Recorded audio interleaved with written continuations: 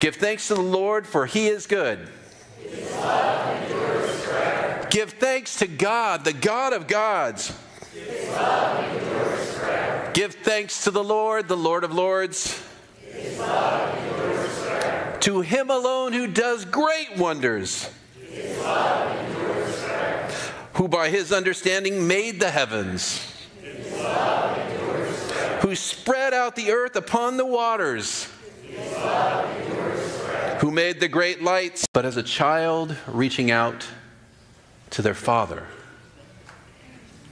As, as a person that comes forward with, I've got nothing, I've got nothing, I've got nothing other than what I'm focused on.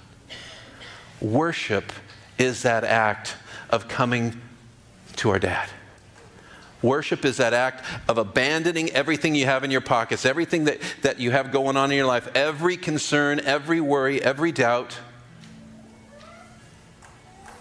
Saying, God, your love endures forever. Your love for me endures forever. Your love for my family endures forever.